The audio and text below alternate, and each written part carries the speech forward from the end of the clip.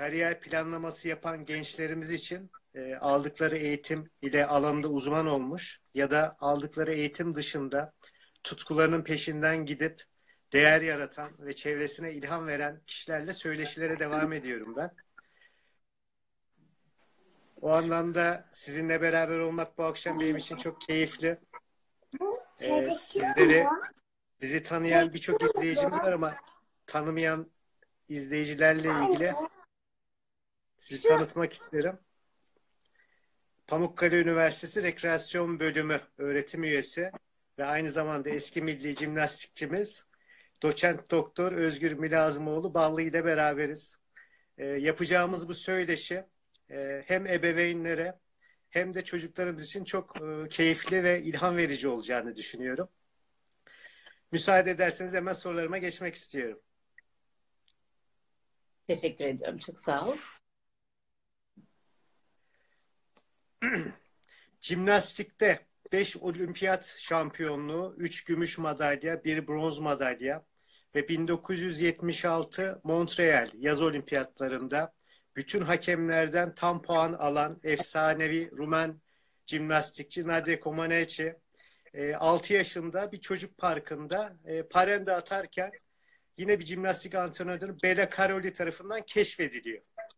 Sizin jimnastik yeteneğinizi kim keşfetti veya jimnastiğe kim yönlendirdi? Bu konuda bilgi verebilir misiniz bize? Şöyle izah edeyim ben.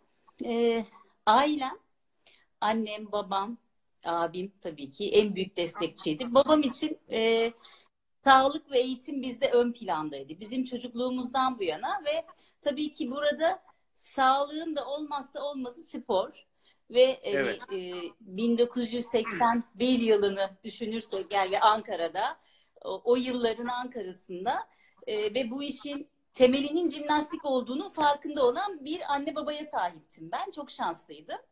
Ee, evet. Babam götürdü beni ilk salona. Ama tabii ki peşimizden koşan bütün e, her yönüyle destek olan annem oldu.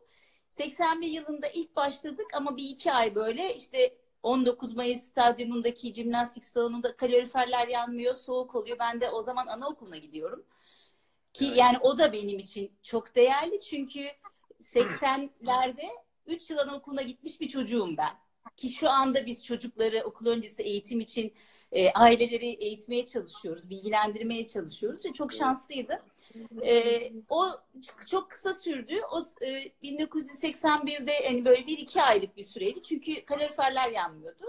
Daha sonra ilkokul birinci sınıfı bitirdikten sonra 1982'de tekrar başladım. E, ilk başlangıç o şekilde oldu. Yani hani babamın, annemin e, evet. sağlık için spor ve sporun temelde jimnastik düşüncesiyle yola çıktılar. Böyle bir Çok başlangıç güzel. oldu. Evet. 1980'li yıllarla şimdi iyi karşılaştırıyorum. Hem teknoloji hem de imkanlar anlamında. Evet, evet. Ee, sizin zamanınızda ideal olarak değerlendireceğimiz jimnastikçileri siz sadece TRT'de ve çok sınırlı imkanlarda izleme şansına sahipsiniz. Ee, o anlamda e, sizin elinizdeki tek bilgi kaynağı antrenörünüzdü. Bütün bilgiyi e, ve deneyimi onlardan öğreniyordunuz. İlk antrenörünüzü, antrenörlerinizi daha doğrusu onlarla ilgili neler söyleyeceksiniz? Aranızda nasıl bir iletişim vardı? Ya ben şöyle şanslıydım. Antrenör değiştirmedim. Benim ilk ve e, spor hayatım bitene kadar tek antrenörüm oldu. Hayri Şengül'dü. E, nur içinde yatsın. Vefat etti kendisi. E, Hayri Hoca e, iletiş, e, disiplinli bir insandı. Hedefleri olan, idealleri olan bir insandı. E, ilk tabii ki o dönemde biz ilk başladığımız zaman işte onlarca çocuk bir arada başlıyoruz. Onların içinden böyle elene elene 5-6 kişi ilk önce bir hem erkek takımı almıştı. Çünkü ilk antrenörlük tecrübesi bizlerle yaşadı kendisi. Ee, ve erkek takımı da aldı, kız takımı da almıştı. Tabii bunları biz hep çok sonra e, bunları konuşmaya başladık işte sürecin nasıl evet. geliştiğini. Çünkü o dönem ki şu anda da birçok sporcu için öyledir diye düşünüyorum. Antrenörünüzün ağzından çıkan şey sizin için kural ve yapılması gereken şey. Doğru. Ve hani e, onun çok genç antrenör olduğunu ya da işte tecrübesiz olduğunu siz o yaşlarınızda farkında değilsiniz zaten. Sizin için doğru. Bir öğretmen neyse e, üst düzeyde spor yapan sporcular için antrenör de aynı şey demek. Antrenörünüz ne söylüyorsa bunu, onu Evet. takip ediyorsunuz, yapmaya çalışıyorsunuz. Çok biliyorum yani çok örnekler vardır. Şu anda bizi izleyen velilerden de ya da işte e, sporculardan da hatırlayacakları olaylar vardır. Yumurta yemeyen çocuğa antrenörü yumurta yemelisin dediği için yumurta yemeye başlayan çocuklar. Süt sevmeyen çocuklar antrenörü bak kuvvetleneceksin işte kalsiyum kaynağı güçleneceksin dediği için süt içmeye başlayan çocuklar. Ee, bizim de e, iletişimimizin ben iyi olduğunu düşünüyorum. Tabii süreç içerisinde çok zorluklar yaşadık, karşılıklı sıkıntılar vesaire ama geriye dönüp baktığımda benim hayatıma yön veren ve e, çok güzel anılarla hatırladığım bir insan. Ne güzel. Çok güzel. Jimnastik çok sıkı kuralları olan ve fiziksel beceri dışında zihinsel süreçlerinde çok üst düzeyde olduğu bir spor. Ee, gerçekten zorluk derecesi çok zor bir spor. Ee, bu disiplinle eğitim size çocukluk yıllarında neler kazandırdı? Ee, Evet, e, şimdi spor dediğimiz olay zaten disiplin düşündüğümüz zaman ve her spor branşının kendine özgü, kendine özel e, gereklilikleri var. Tabii jimnastikte hani ben bu işin içerisinden geldiğim için değil, buna birçok kişi katılacaktır. Gerçekten disiplin, uymanız gereken kurallara uymadığınız takdirde kendi sağlığınızda tehlikeye atabilirsiniz antrenörünüze ya da o andaki diğer sporculara da e, bir takım problemler yaşatabilirsiniz. O yüzden e, kurallara uymak zorundasınız bu işi yaparken ve Evet. e, değerlendirme şekli olarak da şimdi birçok spor branşı e, sonuç odaklıdır. Sonucu anında görür seyirci. İşte yüzme sporunda skorboardta görürsünüz kaç saniyede e, yüzdüğünü ya da atletizmde ortadadır. E, futbolda gol olduğu zaman bellidir. Tabii ki tartışmalı pozisyonları ayrı tutuyorum ama jimnastiği izle, izlerken seyirci e, ona çok mükemmel gelen bir e, seri şu anda bir hakem olarak biz değerlendirdiğimiz zaman ciddi kesintiler yaparız ve e, yani seyirci de belki veli de anlayamaz. Yani ne oldu da bu kadar kesildi. Halbuki çok güzel havalarda uçtu. Bir sürü saltolar yapmıştı. E, şeklinde yorumlar yapabiliriz. Ama çok küçük farklarla ki bahsedeceğiz belki biraz sonra da madalyaların kaçtığı, olimpiyat ya da işte dünya şampiyonası madalyaların kaçtığı ya da kazanıldığı bir spor branşı yapıyoruz. Yani binde birlik değerlerden bahsediyorum. Mükemmel olmak zorundasınız. En iyisini yapmak zorundasınız. Çok çalışmak zorundasınız. Çok fazla tekrar yapmak zorundasınız. E, bu tekrar olmadığı sürece başarıya ulaşamazsınız. Ve küçük yaşta başlıyorsunuz. Yani bir çocuğun karakterinin şekillendiği, alışkanlıklarının e, yerleştiği bir dönemde siz bu spora başladığınız için de artık bir takım e, olumlu tabii ki olumsuz yönleri de olacaktır e, bu e, spor branşının eskileri. Ama ben olumlu yönlerinin daha fazla olduğuna inanıyorum ve e, o e, şekilde hayatımı da devam ettiriyorum. 1986 yılında ben e, ilk defa milli oldum. 11 yaşındaydım ve doğal olarak hayatımın ve yaşantımın seyri tamamen değişti. E, Evet. Jimnastik bütün akademik, sosyal yaşantımda birinci sıraya çıktı. Arkadaşlarınız e, e tabii bizim zamanımızda bu kadar çok şu anda çocuklarımızın sürekli bir doğum günü partileri, aktivitelerimiz var. Bizim zamanımızda o kadar yoktu ama arkadaşlarınız sokakta oynarken siz antrenmana gidiyorsunuz.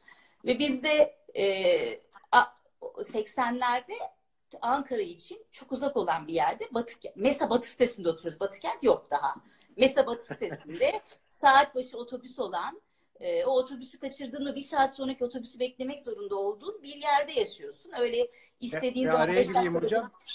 Ulus'a Kızılay'a giderken ben Ankara'ya gidiyorum derlerdi. Aynen evet Ankara'ya gidiyoruz. İşte Ankara'da işim var. Ee, işte oraya gideceğim deriz. Hani sanki Ankara'nın dışındaymış gibi. Tabii şu anda çok farklı bir e, ortamdayız ama e, bizim evimize mesela işte e, 40 yılda bir misafir gelirdi bayramdan bayrama. Ben çok hatırlarım. Kuzenlerim işte çünkü ancak uzakta olduğumuz için işte ancak o günlerde özel günlerde bir araya gelirdik. Onlar yokuştan yukarı çıkarlar. Ben de elimde çantam antrenmana giderim. Akşam antrenmandan döndüğümde eğer şanslıysam birazcık daha beklerlerse onlarla görüşme şansı bulabilirim. Sonuçta hayatınızı bu şekilde e, yaşamak durumundasınız. Sosyal e, yaşantı olsun, e, akademik yaşantıda da daha çok çalışmalısınız. Diğer arkadaşlarınız lay lay lom yaparak ders çalışırken siz antrenmandan geldikten sonra programlamak durumundasınız zamanınızı. İki saatin var. Yemeğini yiyeceksin, dersini çalışacaksın, uyuyacaksın. Bütün bunlar evet zor bir süreç ama sizi hayata o kadar güzel hazırlıyor ki aslında. Evet. Hani e, hayatımızı, hani sosyal, e, okul, akademik yaşantımızı hep tabii jimnastiğe göre e, ayarladık. Bunun içerisinde e, mesela işte ilkokul e, bizim ortaokul 86 yılında tabii ortaokula başladım ben. O sene henüz daha Müjgan Karaçalı ortaokulu başlamamıştı ve ben Bahçelievler Ortaokulu'na başladım. Ve Batı kentten yani Batı sitesinden diyeyim çok uzakta. Ama oradan çıkınca antrenmana gitmek daha kolay olduğu için sabah çok erken bir saatte tabii fizik olarak da çok ufak tefek ve minyondu.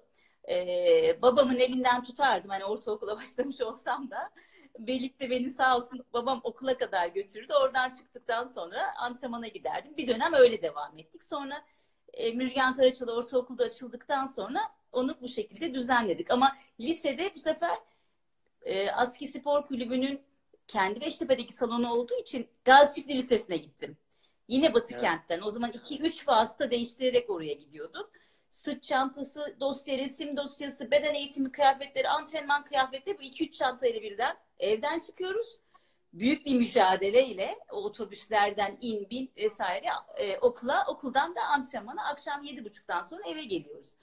Tabii ki bütün bunlar istek, sevgi, azim ve aile desteği olmazsa yapılamayacak şeyler. Kesinlikle. Ve yarışmalar başladı hocam. Siz yarışmalara aktif olarak katılmaya başladınız. 1988 ve 1991 yıllarında Türkiye şampiyonu oldunuz jimnastikte. Müthiş evet. bir başarı.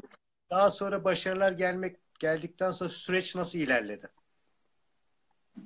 Eh, yani e, şimdi tabii geriye dönüp baktığım zaman çok hızlı geçmiş şu anda bizim için çok güzel anılar. Hep onları hatırlıyoruz. Evet. Ee, tabii başarı e, şampiyonluklar, işte milli takım yarışmaları, bütün bunlar devam ederken tabii o başarıyı da e, devam ettirmeniz gerekiyor. Bunun için çalışmalar e, daha fazla artarak, yoğunlaşarak devam ediyor.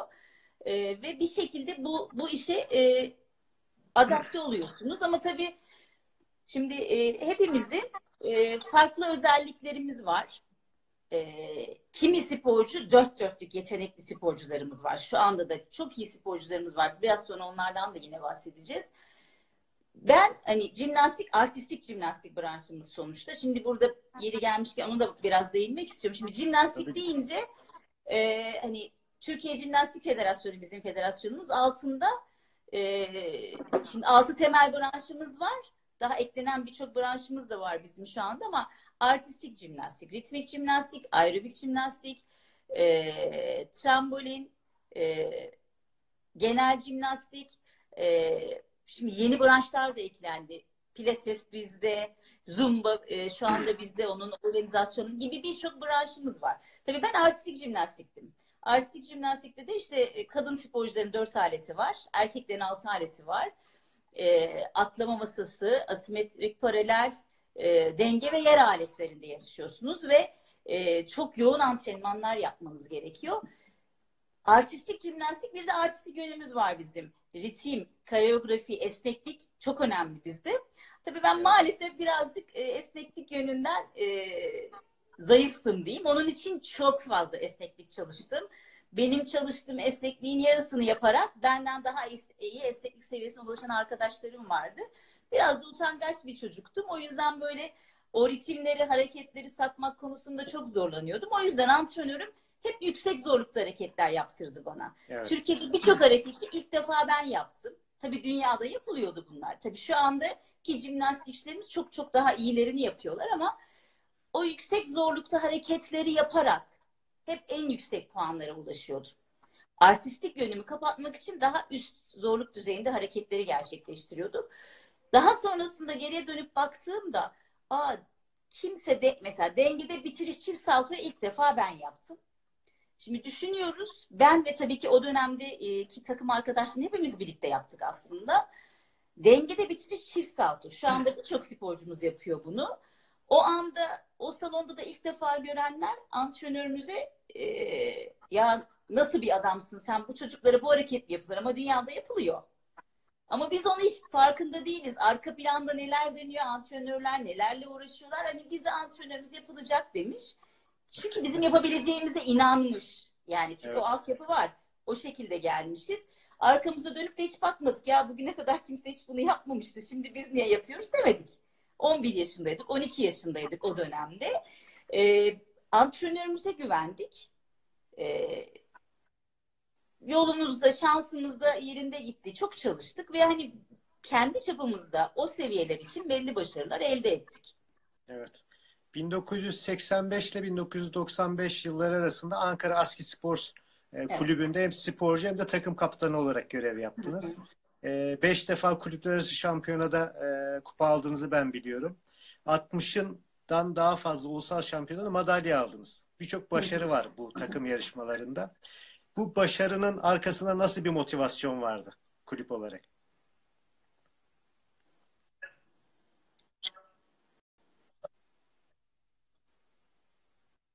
Ee, hı hı.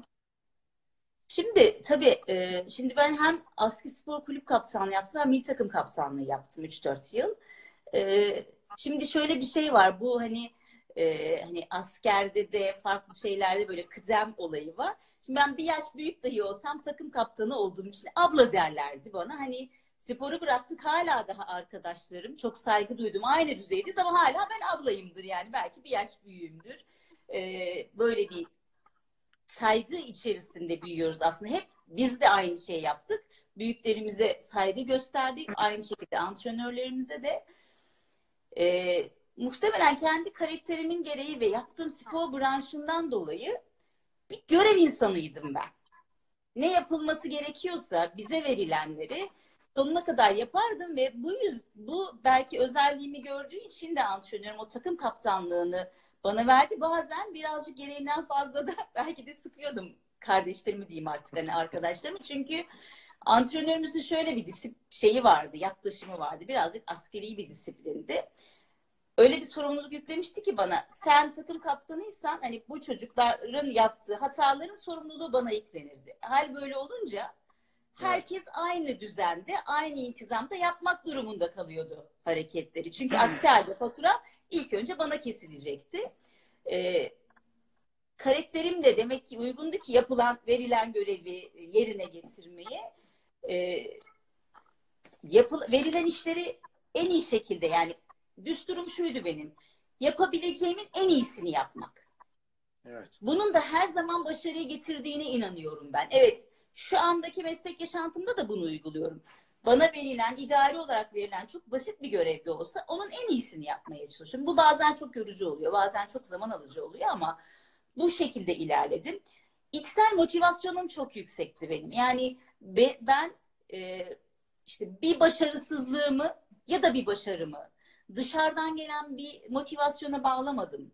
İşte evet üzülmedik mi üzüldük. Hakemler hakkımızı yedi dedik. İşte bize az not verdiler dedik gibi. Ama hiçbir zaman onlar bana az not verdiği için ben burada birinci olamadım. Ya da işte bir denge aletinden düştüysem ilk önce kendimde aradım bunun şeyini. Evet yani demek ki teknik hata yaptım ya da yeterince çalışmadım gibi. Hani bu şekilde olduğu zaman e, devamını getirmek istiyorsunuz. Ama eğer ki özellikle dışsal motivasyon odaklı ise bir sporcu her zaman işte kaybettiğinde işte işte rüzgar şuradan esmişti de işte oradan antrenör bağırmıştı da işte hakem zaten bana az not veriyor. İşte iyi kurra çekemedik bu e, siklet yarışlarında karşımıza çıkan şey oluyor. Hep daha iyisini yapmak için çabaladık. Hani bizim elimizden gelen bu kadardı. Bizden sonra gelen jenerasyonlarda çok güzel başarılar elde ettik. Hani bizler bir belli bir basamak çıkarttık bu işi diye düşünüyorum ben. Evet. Sizin jenerasyona gelmek istiyorum hocam. Çok başarılı sporcular olduğunu hatırlıyorum sizin döneminizde. Tabii sizin sportif performanslarınızı en üst seviyeye çıkaracak e, bir antrenör ekibinin de çok büyük katkısı var bu işin içinde. o dönemin antrenörleri bir ekolü mü temsil ediyordu? Bunu merak ediyorum. Ee, yani yani direkt bir ekol değil ama aslında bir ekolün başlangıcı diyebiliriz onlara. Çünkü sonrasındaki süreçte o antrenörlerin yetiştirdiği sporcular o dönemde yine çok güzel başarılar aldılar. Şu anda yönetici kademesindeler. Federasyon Başkanımız Suat Ceren e, bunlardan bir tanesi. Yine benim dönemimin e, benim de işte bir takım arkadaşım rahmetli Murat Canbaş daha birçok birçok sporcumuz var o dönemde yetişen ve şimdi o antrenörlerimizin yetiştirdiği sporcular şu anda idare kademesinde, teknik kademede şu andaki bizim teknik kurullarımızdaki arkadaşlarımız, antrenörleri yetiştirdiği sporcular. Ee, ve antrenör yine ondan yetişen e, antrenörler şu andaki başarılı sporcuları da yetiştiriyorlar. Orada bir dönüm noktası vardı. Ee, hani ekol diyebilir miyiz? Yani onun şeyi ben değilim, otoritesi ama orada ciddi bir dönüm noktası vardı. Bazı antrenörlerimiz hala daha şükranla ve rahmetle anıyoruz biz onları. Ee, bizleri bu noktaya getirdi ve bizler de e, bulunduğumuz görev ve kariyerler doğrultusunda diğerlerinin önünü açmaya devam ediyoruz. Öyle düşünüyorum. Evet. Ben ailenizin spora ve size yaklaşımını bir komşunuz olarak çok net hatırlıyorum ve biliyorum. E, Hayriye teyzemin ve Necip amcanın, Hakan abinin. Çok değerli insanlar. Ellerinden öpüyorum hepsini. E, o dönemde e, onların desteğini çok yakın olarak bilmekle beraber tabii yarışmaları biz bilmiyorduk o zaman. Bizim yaşımız biraz daha küçüktü. Yarışmalar sonunda size nasıl destek olurlardı? Üzüntü, moral, motivasyon, mentorluk anlamında e, katkıları nasıldı? Kısaca bahsetmek ister misiniz? Evet. E, şimdi ilk başta da söyledim. Ben şanslı bir çocuktum. Çünkü ailem zaten spor yani sağlık ve eğitimin önemli olduğu vurgusuyla yola çıkmışlardı. E, ve o yine o zamanın şartlarını diyeceğim. Ben 82 yılında başladım. Ve ilk başladığım yıl 6 ay sonra ilk yarışmaya girdik biz. 6 evet. ay içinde hazırlanmıştık tabii. Şu anda çok kısa bir süre yani biz bunu önermiyoruz ama o dönemde biz 6 ay içinde yarışmalara girdik. O ilk Ankara yarışmamızdı. Sonrasında şehirler arası yarışmalara gitmeye başladık. Ve ailem Türkiye sınırları içerisinde nerede yarışma yapıldıysa onlar da geldiler. Yeri geldiler burada abimden de ben çok özür diliyorum. Onu ihmal ettiler belki benim peşimden koştular. Ee, babam gelemesi annem mutlaka geldi. Çoğu zaman hep birlikte geldiler. Ee, antrenmanlarımda da şöyle söyleyeyim Beştepe'de e, antrenman yapıyoruz. Yani ben 17-18 yaşına geldiğimde dahi antrenman çıkışıma annem gelirdi. Ve hani gelirdi diyorum ama araba yok, hiçbir şey yok. Otobüslere biniyor. İşte Beştepe'de o aşağıda şu andaki metronun geçtiği yerleri bilirler.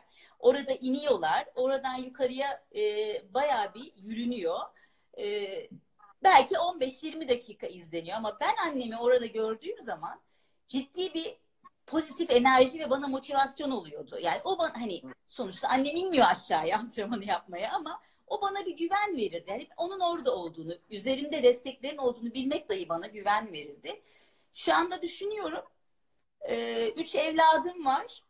Hani onlardan aldığım şeyle ben de çocuklarıma ilgi ve özen göstermeye çalışıyorum ama onlar kadar olabileceğimi düşünmüyorum. Çünkü şu anda bizim tabii ki kendi meslek yaşantılarımız yaşantımız var. Akademik hayatımızda devam ediyor.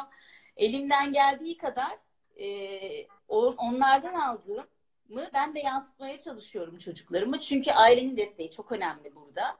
Bazen sadece bir bakışı, belki içinden çok kısa bile bir gülümsemesi o anda çünkü siz de kendinizde yani şu bir gerçek hiçbir sporcu e, jimnastik için konuşayım. O denge aletinden düşmek istemez. Kötü bir performans sergilemek istemez başarılı olmak ister.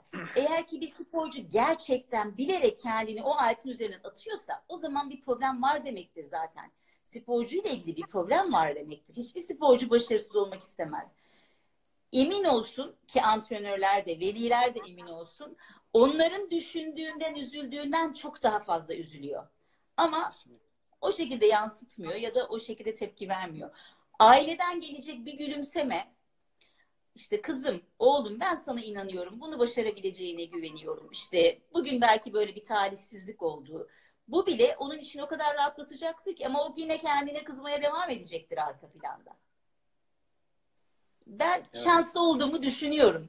Tabii ki bu süreçte hepimizin aile olarak mutlaka hiçbir şey de, e, hani böyle güllük gülistanlık değildi ama hani ben böyle geriye dönüp baktığımda ailem içinde, antrenörüm içinde baktığımda hep güzel şeyleri hatırlıyorum. Çünkü yaşadığım olumsuzluklardan zaten çıkarmam gereken dersi çıkardığıma inanıyorum.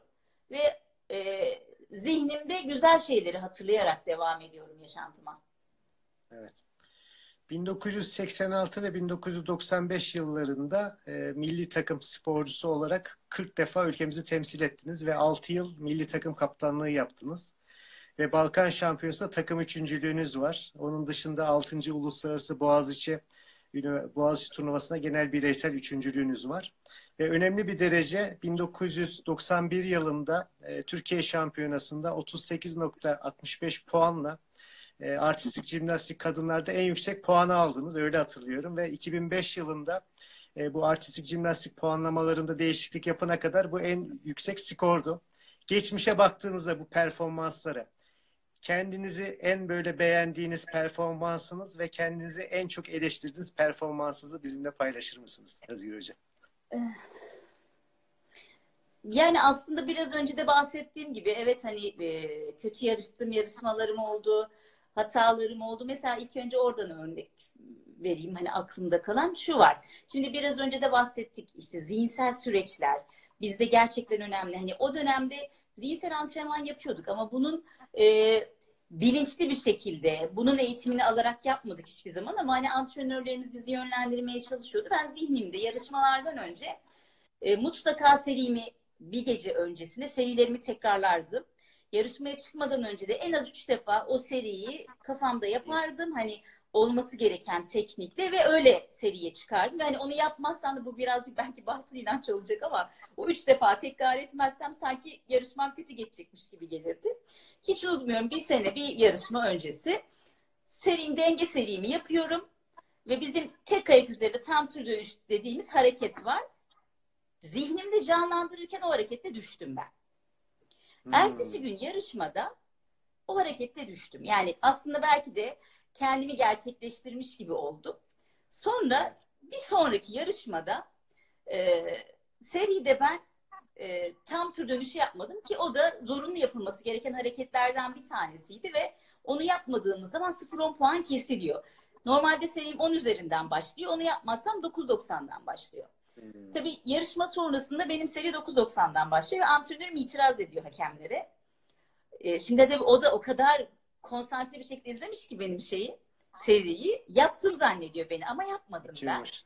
İşte hakemler hayır yapmadı vesaire diyor. Ondan sonra, sonra antrenörüm döndü geldi bana. Özgür dedi sen tam dönüş yaptın mı yapmadın yapmadım dedim böyle gözlerimi kaldırdım artık. Ondan sonra çünkü bir önce çünkü düşersem 0.50 kaybedeceğim. Çünkü bir önce düştüm. Çünkü bütün zor hareketleri yapıyorsunuz. Hepsinde kalıyorsunuz. Bütün hepsine baktığınız zaman basit bir harekette düştüğünüzde 0.50 kaybedeceksiniz. Kendi matematiğime göre orada hani düşmemek için öyle bir şey yaptım. Ve sonrasında da yarışma öncesinde seriyi zihnimden o kadar hızlı geçiriyordum ki ben o zihinsel antrenmanda hani düşmeye fırsat vermeyecek şekilde bir hızla geçiriyordum. Çünkü kendi kendime bir şey yaratmıştım artık hani bir batıl inanış yaratmıştım. Çünkü hani orada düşersem zihnimde yarışmada da düşeceğim. Yaklaşımıyla e, ilerliyordum. Evet.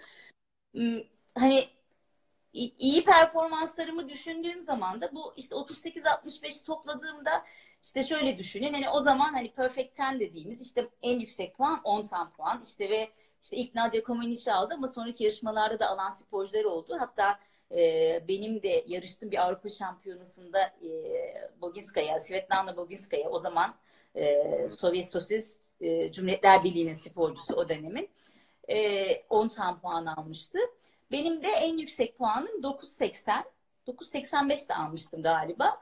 Ee, 10 üzerinden hareketleri, serilerimiz değerlendiriliyor. Yani üst, dediğim gibi yüksek zorluk değerinde seriler yapıyorduk. Ee, tabii şu andaki jimnastikçilerimiz alınmasınlar üzerlerine ama tabii şu anda çok çok daha iyiler.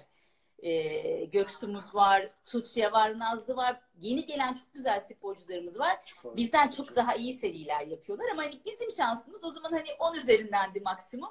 Şimdi artık ucu açık. 13'ler, 14'ler, 15'ler alınıyor. 16'lar alınıyor yani hani e, dayanıyor da öyle diyeyim artık şey olarak. E, hani özellikle den, e, yer ve e, atlamayı daha çok severdim herhalde diye. Çünkü denge nankör bir alet. Dengede bir kere düştünüz mü e, işte şu anda bir puan kaybediyor sporcularımız. Bizim zamanımızda 0.50 kaybediyorduk. E, yani bu, bu şekilde hani hatırlıyorum. Hani dediğim gibi bir güzel şeyler hatırlamak istiyorum ve o, o, anılar var e, aklımda, zihnimde benim. Ne güzel. Öyle. Sporculuk hayatınızın artık sonlarına yaklaşırken 1992 yılında ODTÜ e, Do Orta Doğu Teknik Üniversitesi Beden Eğitimi Spor bölümünü kazandınız. E, ODTÜ'de nasıl bir eğitim aldınız ve kariyer planlamasında neler düşündünüz o yıllarda? E, ben e, şöyle bir şey söylemek istiyorum. Şimdi yine e, belki ailemi şey yapacağım ama gerçekten şanslıyım. Hani geriye dönüp düşündüğümde tabii ne istiyor aileler, ebeveynler? Çocuklarımız doktor olsun diyoruz, mühendis olsun diyoruz. İşte e, çok para kazanacağı bir mesleği olsun istiyoruz. Çocukluğumu düşündüğüm zaman hani benim ailemden öyle bir baskı da gelmedi, öyle bir şey de gelmedi ama tabii ki çevre ve öyle bir sosyal şey vardı ki bakıyorsunuz işte ne herkes işte doktor olmak istiyor, mühendis olmak istiyor vesaire. Dönem dönem benim de işte e, bir sorduklarında doktor olmak istediğimi söylediğimi biliyorum. İşte ilkokulda bir matematik öğretmenimin kızı hakimdi. O bana böyle çok şey gelmişti, ulaşılmaz gelmişti. İşte bir dönem hakim olmak istedim. E, daha sonraki dönemlerde liseye geldiğimde e, klasik olarak hani birçok öğrencinin e, yönlenmesiyle, yönlendirilmesiyle diyeyim artık mühendis olmak istiyordum ve 92 yılında ben üniversiteye girdim. Çevre mühendisi olmak istiyorum. O zamanın popüler mesleklerinden yeni yeni ortaya çıkmış bir meslek. E, bizim komşumuz e, e, eşi e, lisede öğretmenimizdi. Kendisi e, Aziz Konukman şu anda profesör, e, ekonomi evet, istatistik mezunu. Evet. Gazi Üniversitesi. Bizim komşumuz o da akademik kariyerinin başlangıçlarında bir sohbetimizde dedi ki bana Özgür dedi. Evet dedi. İnanıyorum dedi. İşte sen mühendis de olabilirsin başka meslekler de yapabilirsin dedi. Ama dedi sen 6 yaşından beri jimnastik yapıyorsun dedi. Ve bu işin içindesin dedi. Ve bu işe harcadığın emekle sen kendi alanında ilerlersen dedi çok daha güzel şeyler yapabileceğine inanıyorum ben senin dedi. Halbuki ben de o zaman sanıyorum hazırlıkta okuyorum ODTÜ'de. Benim hedefim şuydu. ODTÜ'ye girdim. Bir sene hazırlık okuyacağım. O sürede e, kursa gideceğim, dershaneye gideceğim ve tekrar sınava gireceğim. Mühendis olacağım, çevre mühendisi olacağım. Çünkü ben 1992 yılında üniversite sınavına gireceğim zaman şu anda e, onlar da beni izliyorlar diye düşünüyorum. Takım takım arkadaşım Cahide Yıldırım ve Mergül Güler, Güler'le üçümüz birlikte dünya şampiyonasına gideceğiz ve Türkiye ilk defa dünya şampiyonasına katılacak. Fransa'da yapılıyor ve üniversite sınavıyla çakışıyor. Bizim Aa. aile meclisi ve antrenör bir araya geldik. Toplandık ve ben dedim ki üniversite sınavına girmeyeceğim. Dünya şampiyonasına girmek istiyorum. Ben 6 yaşından beri bu işi yapıyorum. Ee, orada yarışma fırsatım var benim. O yüzden böyle bir karar aldık. Ailecek de bu kararı aldık ve biz yani evet Aralık'ta başvurumuzu yaptık üniversite sınavı için ama ben üniversite sınavı modundan çıktım çünkü dünya şampiyonasına gideceğim. Ama öyle bir şey oldu ki bir takım teknik problemlerden dolayı yani e, zamanında başvuru yapılamadığı için biz üniversite biz dünya şampiyonasına gidemedik. Ha. Ve iki hafta sonra da üniversite sınavı var. Ve ben ekstra hazırlık yapmadım, dershaneye gitmedim. E, iki hafta içerisinde birkaç özel dersle işte hani problem çözme teknikleri, işte sık ÖSS, ÖSS var o zaman e, bir takım işte sağ olsun hocalarımızla birlikte çalışarak ben üniversite sınavına girdim. Ve yine hedefim mühendis olmak, çevre mühendisi olmak ve e, o yüzden de hazırla, işte hazırlığa devam edeceğim. Sonra tekrar sınava gireceğim. Ama bu sürede e, Sayın Hocam'la yaptığımız bir sohbet, aile arasındaki bir sohbet benim gerçekten bakış açımı tamamen değiştirdi. Dedim evet benim en iyi bildiğim iş bu. 6 yaşında bu işe girdim ben. E, o anda fikrimi değiştirdikten sonraki hedefim akademisyen olmaktı. Yani ben hazırlıktayken akademisyen olmaya karar vermiştim. ODTÜ'de işte devam edeceğim süreçte. Ama burada yine bir tercih yapmak zorunda kaldım. Hazırlığın ilk senesinde Akdeniz oyunları var. Profisi sınavına gireceğimiz zaman Akdeniz oyunları. Ve o senede ODTÜ'deki e, bir yıl içerisindeki aldığınız notlar yüzde 60 etkiliyor, yüzde 40 proficiency notunuz etkiliyor. Yıl sonu notu etkiliyor. Ondan sonraki yıl sistem değişecek. Yıl içerisindeki notunuz kaç olursa olsun yıl sonundaki proficiency notu sizin geçme notunuz olacak. Orada ben yine jimnastikten yana kullandım. E, proficiency sınavına girmedim. Akdeniz oyunlarına gittik. Akdeniz oyunları e, zamanı ben oradayken hazırlıktaki hocam benim adıma bakanlığa kadar mail atmış. Böyle böyle benim bir öğrencim var. Bu büyük bir e, şey haksızlık oluyor kendisi için. Hani ona tekrar bir hak verilsin mesela ama sistem ODTÜ ciddi kurumsal bir yapı yani mazeretiniz ne olursa olsun sizin için herhangi bir şey değiştirmiyor. Ve e, yıl sonundaki e, Eylül'de girdiğim profesyonel sınavında arkadaşlarım Boğaziçi turnuvası için kampta kamptalardı. Ben artık dedi hani ailemde artık hani tercihini birazcık değiştirsen iyi olacak hani sınava gir e, dediler bana ama benim aklım oradaydı. Ve ben e, ikinci sene hazırlık okudum. İkinci senenin sonunda bölüme geçtiğim zaman o zaman benim için yeni bir hayat başladı. Çünkü jimnastiği bıraktım artık hani e, üniversite birinci sınıf çünkü e, ayarlayamıyorsunuz derslerinizi. Günde 4 saat antrenman yapmanız gerekiyor. Ders programı, karmaşık bir ders programı var. Yani oradan çıkacağım, aski jimnastik salonuna gideceğim, geri oturuyor, araba yok, altımda hiçbir şey yok, ulaşım belli. Hani öyle bir şansım yoktu ve ben artık e, evet dedim 20 yaşına geldim, e, yapabileceklerimi yaptım.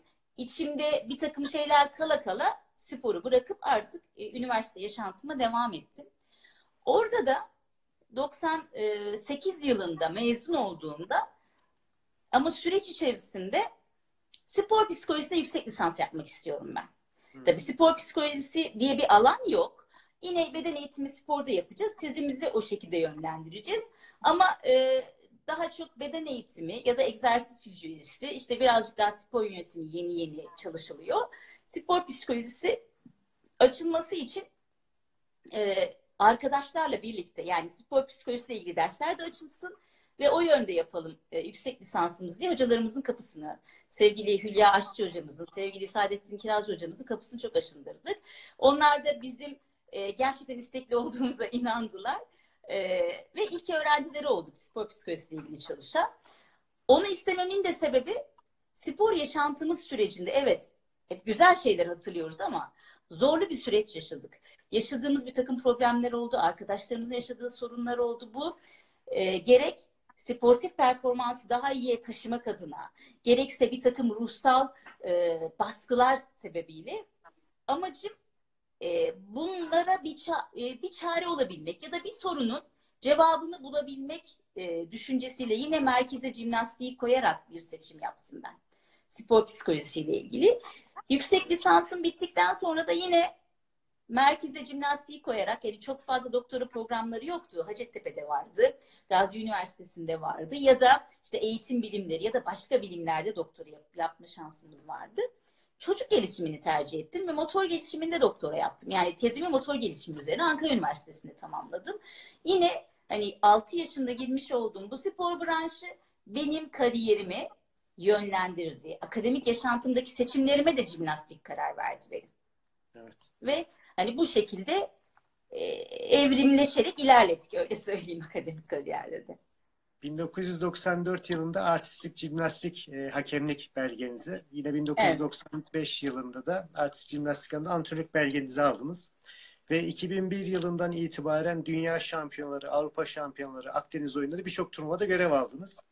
2012 Londra Olimpiyatlarında Uluslararası Jimnastik Federasyonu davetiyle olimpiyatlarda ilk görev alan hakem ünvanı kazandınız. Hakemimiz ünvanı olmayı kazandınız. E, tüm, tüm dünyadaki sporcuları gözlemleyen bir kişi olarak e, geçmişten günümüze, sizin zamanımızdan günümüze sporcu profillerini incelediğiniz zaman geçmişten bugüne sporcu profilinde neler değişti? Bu değişiklik jimnastiğe nasıl yansıdı? Ee, şimdi e, ben bizim dönemimizdeki yarışmacı spor, e, yani ilk önce şöyle söylemek isterim. Şimdi benim sporculuk dönemimde antrenörler sadece yarışmacı sporcu olabilecek çocuklarla uğraşırlardı. Eğer herhangi bir yeteneği yoksa o çocukla kesinlikle uğraşmak istemezlerdi. Yani sporcu yetiştirme odaklıydı e, eğitimler. Birçok spor branşında böyleydi. Yani ben çocuğum sağlıklı yaşam için spor yapsın dediğiniz zaman antrenörler kabul etmezdi. Çünkü bir hedef var, yarışmalara katılmak isteniyor vesaire. 90'lı yıllara geldiğimiz zaman artık bu birazcık daha yön değiştirmeye başladı ve herkesin spor yapması, herkesin jimnastik yapması üzerine bir takım çalışmalar yapıldı. Bu yöndeki ilerleyiş böyle. Sporcu yani performans sporcusu profiline baktığımız zaman ben bu konuda birazcık taraflı olabilirim diye düşünüyorum. Tabii. Ee, e, şöyle ki e, kendi abilerimiz, ablalarımızı, kendi jenerasyonumu ve şu andaki jenerasyonu düşündüğüm zaman ben jimnastikçi sporcuların hep belli bir seviye ve düzeyde disipline sahip olduklarını, saygıya sahip olduklarına inanıyorum ve kendim de gözlemliyorum. Ben inanıyorum ki birçok ildeki, e, üniversitelerdeki spor bölümlerindeki hocalarımız e, bütün o farklı spor branşlarındaki profillere baktıklarında jimnastikçi yani üst düzey elit bir jimnastikçiyle diğer branşlardaki sporcuları biraz ayıracaklardır diye düşünüyorum. E, bu da 5-6 yaşında bu işe başlayıp bazılarımız 4 yaşında bu işe başlayıp ciddi bir disiplinle ilerliyorsunuz ve o başarıya ulaşmak için o disiplini bozmamanız gerekiyor. Ee, belki ben bu işi yaptığım için bilemiyorum. Biraz taraflı bakıyorum belki de e, kendi jimnastikçi sporcu profilimize. E, ama elbette ki şu yüzyılda hani hepimiz ben de bir akademisyen olarak gençlerden şikayet ediyoruz. Hani öğrencilerimin yüzüne karşı da söylüyorum ben bunu. Evet belli bir takım e, değişim var. Hiçbirisi bizim zamanımızdaki gibi değil. Biz ailelerimiz zamanındaki gibi değiliz. Bizim çocuklarımız bizim zamanımızdaki gibi olmayacak. Çünkü e, teknoloji çağındayız. Çok hızlı ilerliyor her şey. Farklı değişimlere adapte olmak zorundayız. Ama bu tarzdaki e, farklılık illaki bizim sporlarımızda da, spor branşımızda da var. Ama başarıların artmasını daha üst düzeyde başarılar almaya başladığımızı da düşündüğüm zaman bizde olumlu yönde bir ilerleme olduğunu düşünüyorum ben. Performans jimnastikçilerinden bahsediyorum. Evet. Sizin jenerasyonla başlayıp e, günümüzde çok büyük bir ivme yakalayan Türk jimnastiğinden birkaç örnek vermek istiyorum. 2012 e, Londra Olimpiyatlarında sizin de hakem olduğunuz olimpiyatlarda biraz önce bahsettiğiniz gibi Göksu Üçok ilk defa olimpiyatlarda temsil eden sporcumuz oldu. Göksu 2016 Rio, evet 2016 Rio olimpiyatlarında Tutya Yılmaz ve Ferhat Arıcan e, ülkemizi temsil etti. 6 ay önce e, Almanya'nın Stuttgart kentinde gerçekleşen 2019 Artistik Jimnastik Dünya Şampiyonası'nda halka aletinde İbrahim Çolak dünya şampiyonu oldu. Müthiş bir başarı. Evet. Yine aynı şampiyonada e, paralel aletinde Ahmet Önder e, gümüş madalya kazandı. Gerçekten düşündüğümüz zaman bunlar hı, müthiş başarılar. E, ülke olarak biz bu süreçte neleri doğru yaptık e, ve neleri daha yapmamız gerekiyor, nelerimiz eksik kaldı jimnastik anlamında, eğitim anlamında? Evet, e, şimdi e, 2019 Dünya Şampiyonası bizim için tarihi bir andı. Ben de oradaydım. Hakem olarak e, yer almıştım ve e, tarif edilemeyecek duygular yaşadık. Çünkü 1982 yılından beri bu işin içerisindeyim. E, bize o duyguları yaşatan sporcularımıza, antrenörlerine, yönetime, idari kadroya herkese çok teşekkür ediyoruz. Ve hani orada inanın canlı yaşamak muhteşemdi o duyguları. E, ben e, bizim Cimnastik Federasyonu olarak güzel bir yolda ilerlediğimize inanıyorum ve zaten bunu bu da meyvelerini veriyor. 2012 yılında bir sporcu, bir antrenör ve bir hakem olarak biz üç kadın oradaydık. Yani ben buna değinmeden geçemeyeceğim. Bu çok gurur verici ve çok değerliydi. Antrenör Ömer Güler, sporcumuz Göksu Üçtaş, şanlı artık. E, ve e, ben hakem olarak oradaydım ve bizim için muhteşem bir gururdu. Bulutların üzerindeydik. 2016 yılına geldiğimizde e, erkeklerden Ferhat Arıcan ve e, e, Tutya Yılmaz sporcumuz oradaydı ve Tutya Yılmaz denge aletinde yedek finalisti. bizim hayal edemeyeceğimiz bir şeydi. Bu olimpiyatlarda yedek finalist olarak kaldı tutuya. E, ve e, Mehmet hocamız e, erkek hakem olarak temsil etti. Bugüne geldiğimizde de e, Rio'da 2021'de yapılacak şimdi.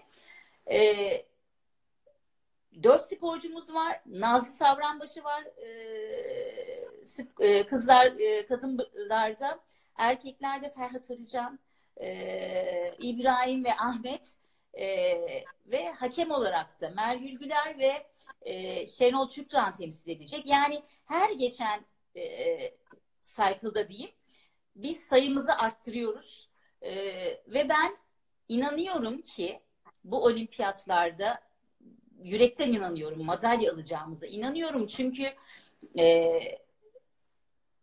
tesadüf değil bizim bu başarılarımız sporcularımın başarıları sporcularımızın başarıları e, çok güzel e, İbrahim çok güzel bir e, şey söyledi artık böyle bir atasözü gibi böyle bir unutmayacağımız bir söz oldu. Bu e, 50 saniye için kaç yıl çalıştım dedi İbrahim şimdi ay özür diliyorum böyle şeyden yorgunluktan da unuttum ama e,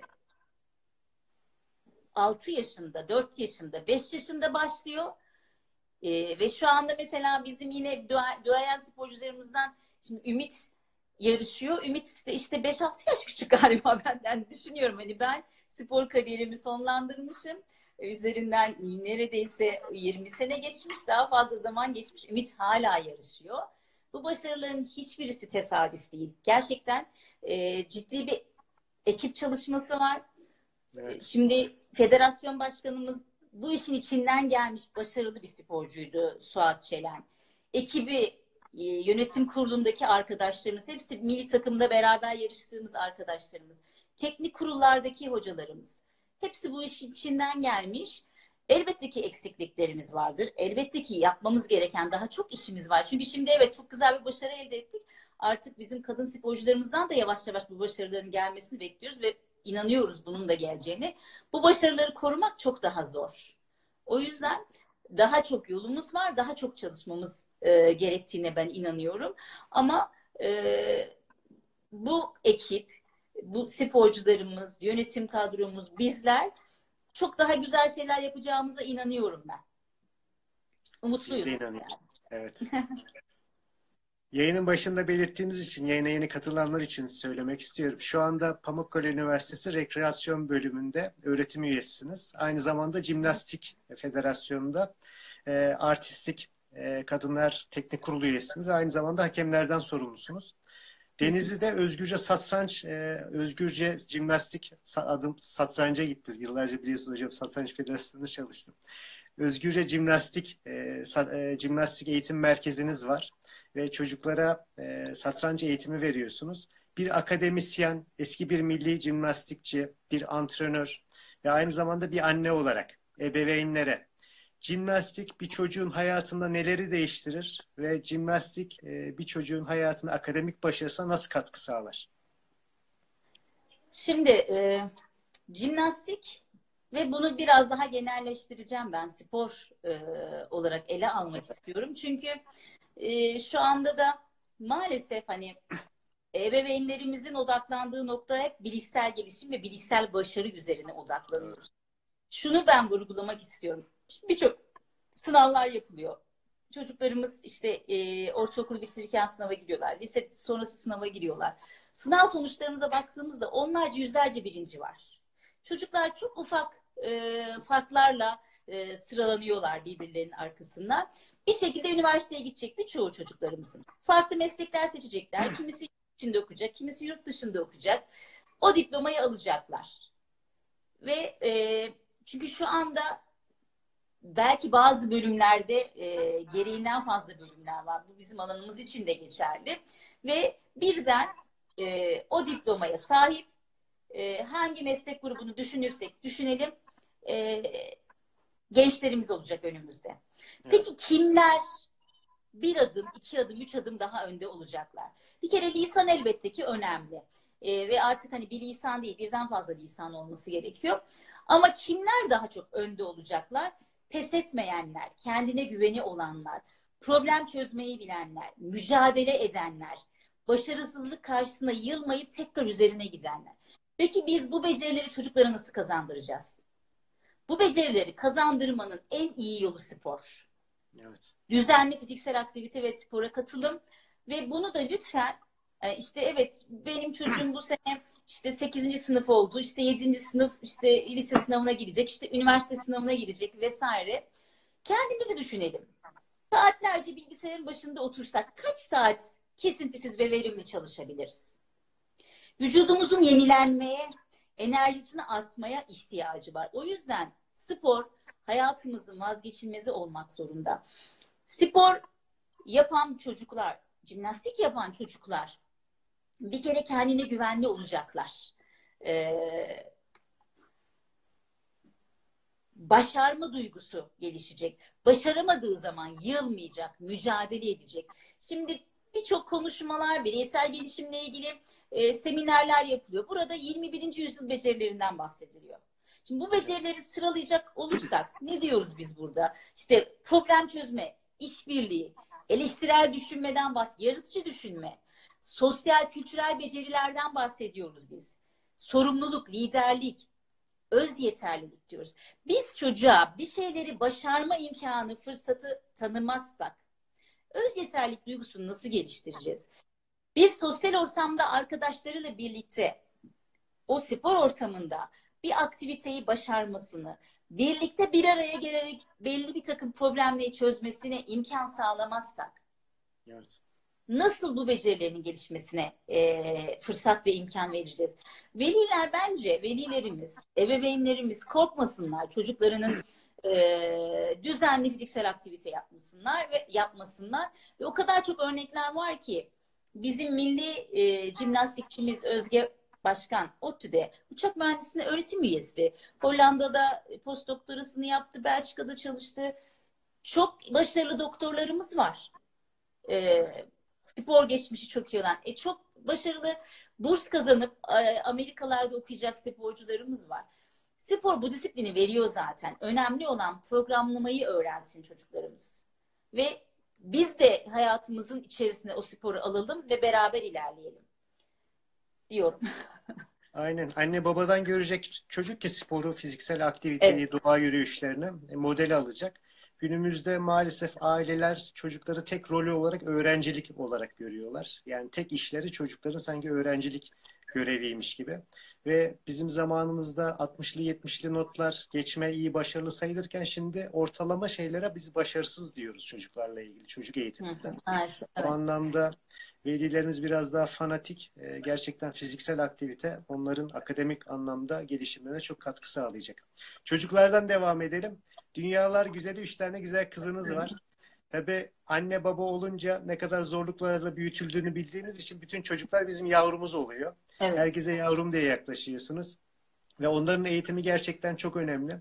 Burada bizi dinleyen ebeveynler, e, jimnastik çocuklarına jimnastik eğitimi aldırmak isteyen ebeveynler nelere dikkat etmeli bir e, jimnastik e, merkezine, e, eğitim merkezine giderken ne tür e, niteliklere dikkat etmeleri, nasıl e, onların nerelerde uygun yerlerde eğitim aldırmalılar? Evet. Şimdi bir kere öncelikle ehil ellere emanet etmemiz gerekiyor çocuklarımızı. Ee, hangi spor branşı olursa olsun o branşta uzman kişiler olmalı. Kendini geliştirmeye açık bireyler olmalı. Çünkü bizler, bizler de dahil buna o belgeyi aldıktan sonra, üniversiteden mezun olduktan sonra sadece o bilgiyle kalıyorsa bir antrenör, bir eğitmen, gele, e, olanı biteni, değişiklikleri takip edemiyorsa sizin çocuğunuza verecekleri de belli bir kısır döngüde kalacaktır. Bir kere vizyonu açık ve e, kendini geliştiren o işte ehil kişiler olması gerekiyor ve ilgili federasyonlarla bağlantıları devam etmeli. Hakemlik olsun, antrenör seminerleri vesaire bunları takip eden bireyler mutlaka olması gerekiyor diyorum diye düşünüyorum. Ee, tabii bazen şunu yapıyoruz biz. Evet ekonomik kaygılarımız hepimizin var ama bazen bir kendimize bir kıyafet almaya gittiğimizde e, o kadar e, sık, e, sık dokuyoruz ki eliyoruz işte kalitesine bakıyoruz vesaire ama iş eğitimle ilgili bir şeye geldiği zaman birazcık daha böyle kestirmeden dönebiliyoruz ama bizim en önemli hazinemiz evlatlarımız. O yüzden Evet. e, mutlaka e, götürdüğümüz kurumdaki e, vizyon olsun, eğitim sistemi bence çok önemli olmalı. Bir, birincisi bu olmalı diye düşünüyorum. E, sporun yanında ben şunu söylemek istiyorum. Sanat da mutlaka çocukların hayatında olmalı diye düşünüyorum. Mutlaka çocukların bir uğraşısı bir spor branşı olmalı ve bir sanatın bir dalıyla da mutlaka uğraşmalılar. Resim olur, müzik olur e, ve bunu da e, burada biraz şöyle yapıyoruz biz veli olarak. E, kimi velilerimiz çok demokrat, çocuklarının her şeyi seçmesine izin veriyorlar. Şunu duyuyorum, 3 yaşında bir çocuk. Benim diyor kızım diyor, hayır diyor işte bale istedi diyor. O yüzden ben baleye götürüyorum çocuğumu. İşte benim kızım diyor, ya işte müziğe götürdüm onu sevmedi. Oradan resime geçtik, resimden işte piyanoya geçtik vesaire. Şimdi 3 yaşındaki bir çocuğumuz elbette ki istekleri, tercihleri tabii ki önemli çocuklarımız ama o yaşta bazı konularda karar verebilecek zihinsel kapasiteye sahip değiller. Evet. Bizim çocuklarımızı bu konuda yönlendirebilecek bilgi birikimimize, bilgi birikimimiz olmalı, bunu araştırmalıyız. Temelde hangi eğitimleri almaları gerektiği konusunda biz yol gösterici olmak zorundayız. Spora düşündüğümüz zaman jimnastik ve yüzmenin ilk etapta verilmesi gereken spor branşları olduğunu e, inanıyorum ve zaten bu da teorik olarak da e, kanıtlanmış bir durum. Okul öncesi dönemde imkanı varsa, fiziksel hem de maddi imkanı varsa çocuklar jimnastik ve yüzmeye gidebilirler aynı anda. İki gün jimnastik, iki gün yüzme yapabilirler. Bizim sporculuğumuzda bize kesinlikle çünkü haftanın beş günü, altı günü jimnastik yapıyoruz. Zaten zamanımız yok. İşte jimnastik, yüzme, ters branşlar olmaz dendi ve ben 20 yaşında yüzmeyi öğrendim. Üniversitede öğrendim ve çok da seviyorum. Yani fırsat bulduğumda yüzmek istiyorum. Benim için önemli bir spor branşı. Çocuklarımıza bu imkanları sunmaya çalışalım. Ee, diğer bir noktada düzenli e, aktivitelere katılsınlar. Hocam işte bugün biraz öksürüyordu götürmedim. Ya işte bugün canı istemedi gelmedik. Ya hocam benim de işim vardı e, o yüzden bu hafta gelemiyoruz değil. Düzenli o aktiviteye katılmalı çocuk. İlk önce biz vazgeçmeyeceğiz. Biz arkasında duracağız. Ve çocuğumuza uygun bir dille, güzel bir dille o işi devam ettirmesi gerektiğini anlatmamız gerekiyor. Evet. Ee, diye düşünüyorum. Çünkü burada ebeveynler, veliler olmazsa olmazımız bizim. O sporun devam ettirilmesinde ebeveynler bizim olmazsa olmazımız. Ben lisede, üniversitede çok arkadaşımdan şu serzenişi duymuşumdur. Özgür keşke benim de ailem senin ailen gibi bana destek olsaydı da evet. ben de bu spora daha erken başlasaydım. O yüzden e, veli desteği çok önemli.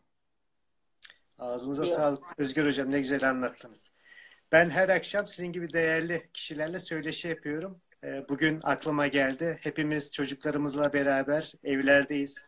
Evet. Kitap, evet. kitap önerisi almak istiyorum Özgür Hocam sizden. Sporla ilgili evet. olabilir, çocuklarla ilgili olabilir.